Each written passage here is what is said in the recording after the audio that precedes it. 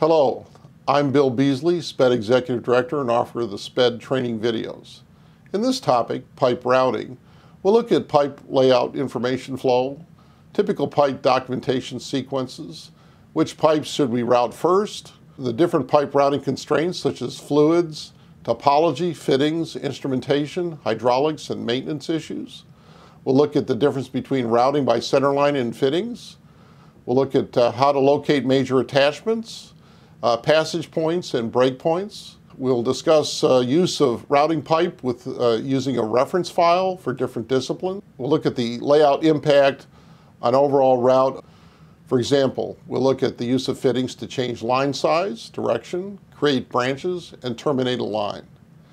Finally, we'll discuss an example of routing pipe from a, off a rack to a pump. Be sure and complete the practice quiz at the end of the topic.